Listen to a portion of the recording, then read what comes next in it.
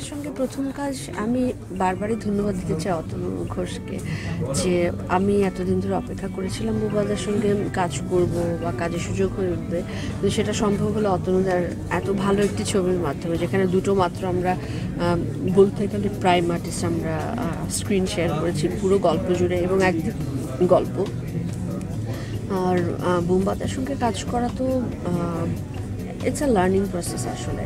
প্রথম থেকেই যদি আমরা ভাবি যে আমি যখন প্রথম দাঁড়ালাম ক্যামেরার সামনে, মনে হচ্ছিল যে উনি যেমন করছেন, ঠিক তার কাছাকাছি আমি যেতে পারব কি না বা ওনাকে আমি অ্যাটলিস্ট সাপোর্ট করতে পারব কি না উনি এত অনবদ্য।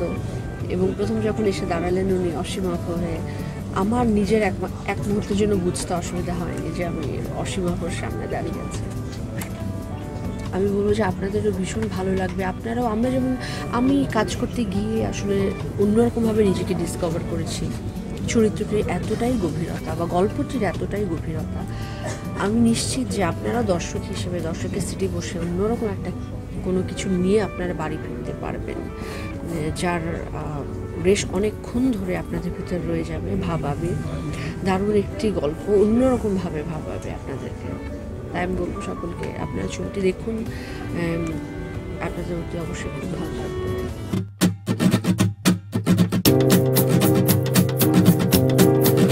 অসম্ভব ভালো একটি ছবি বানিয়েছেন অতনু। ময়ূরাক্ষীর পরে এটি আমার দ্বিতীয় ছবি অতনুর সঙ্গে এবং আগামী দিনে যেসব ছবি আমরা করব সেটাও প্রায় ঠিক আছে। তো এইটা অতনু চেয়েছিলেন যে ও তিনটে ছবি পরপর করবে যেখানে দুটো চরিত্র নিয়ে এবং আমার অসাধারণ লেগেছিল এই দুটো চরিত্র, বিশেষ করে স্ক্রিপ্টটা তো বটেই। এরম দুটো চরিত্র বোধহয় খুব একটা সচরাচর দেখা যায় না। আসলে এই ছবিটি কিন্তু কঠিন ছবি নয়। আমাদের প্রত্যেকেরই, যে যার বয়সেই সেটা প্রেমিক, প্রেমিকা হতে পারে, স্বামী, স্ত্রী হতে পারে। অতনু মজাটাই আছে বাবার ছেলেকে নিয়ে যখন ছবি করেছিল গল্প নেই। মানে এটা যদি বলা হয় থ্রিলার এটা যদি কমেডি বা এটা প্রেম, বা এটা গল্প না মুহূর্ত মুহূর্তগুলোকে এমন সুন্দর ও মালার মতন করে গাঁথে, যেখানে শেষে গিয়ে মানুষের একটা রিয়েলাইজেশন তৈরি হয়। সেই রিয়েলাইজেশন হতে পারে বা সেই প্রশ্নটা থাকতে পারে বা ছবিটি দেখে একটা অদ্ভুত মানসিকতা তৈরি করে অতনুর এই ছবির বলার ধরনটাই এরকম। তো এইটা একটা অদ্ভুত কঠিনতম চরিত্র আমার কেরিয়ারে এই নিয়ে কোনো সন্দেহ নেই। কঠিনতম মানে আমার কাছে যদি মনে হয় দোসর বা জাতিস্বরের কুশল হাজরা কঠিনতম বা লালন ফকির এটাও ঠিক ইকুয়ালি একটা কঠিনতম চরিত্র। এবং এটা করতে আমার খুব ভালো লেগেছে এটুকু বলতে পারি। অভিনেতা হিসেবে একটা তৃপ্তি বোধ করার জায়গা থাকে সেটা বটে। এবং দর্শকরা, আমার আজকাল বলতে ভালো লাগে যে দর্শকরা আজকাল এরকম সিনেমাই দেখতে দেখতে পছন্দ করছে। আমি খুব হ্যাপি মানে আমি ব্লেসড জয়ার মতো একজন অভিনেত্রীর সঙ্গে আমি কাজ করতে পারলাম।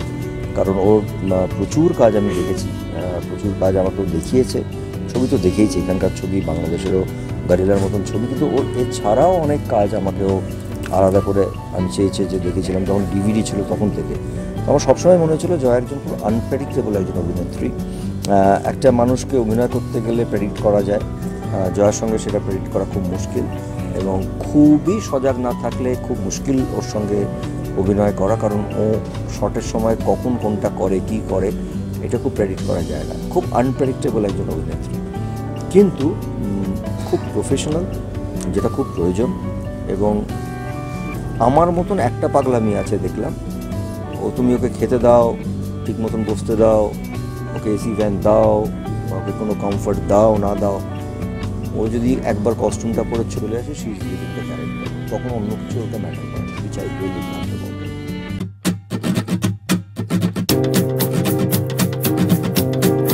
আমার মনে হয় রবিবার এমন একটা ছবি যেটার মধ্যে কোনো গতানুগতিকতা নেই। এরা তো দুজনেই খুবই পেশাদার শিল্পী আম, এদের সঙ্গে কাজ করাটা খুব সহজ একেবারে। কিন্তু যেটা আমার মনে হয় এখানে মজার সেটা হচ্ছে যে এই দুজনের সমীকরণটা দেখা নয়। সেটা খুব মজার এবং এটা এমন একটা গল্প, এত ইন্টিমেট একটা গল্প যেখানে এই দুটো মানুষ থেকে চোখ সরানো খুব মুশকিল। এবং সেখানে যেহেতু তাদের আগে দেখা হয়নি সবসময় তো হয় যে জুটিকে চেনা হয়ে যায়।